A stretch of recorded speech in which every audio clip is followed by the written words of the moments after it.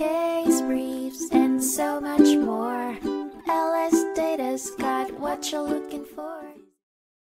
In 2011, the Supreme Court of the United States addressed the case of Connick v. Thompson, which centered on the question of municipal liability for failure to train under Section 1983.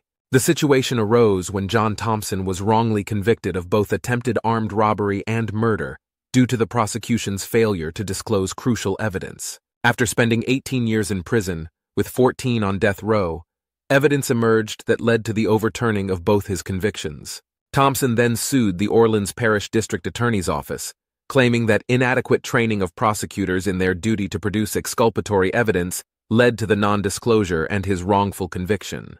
The Supreme Court had to determine whether the district attorney's office could be held liable under federal law for a single Brady violation. Typically, a pattern of similar violations is required to establish municipal liability. In this case, the court ruled that the district attorney's office could not be held liable for a single incident.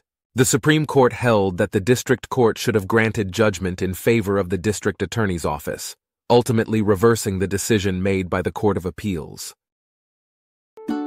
case briefs, what you're looking for. Visit lsd.law, elevate your mind. Leave the stress of class.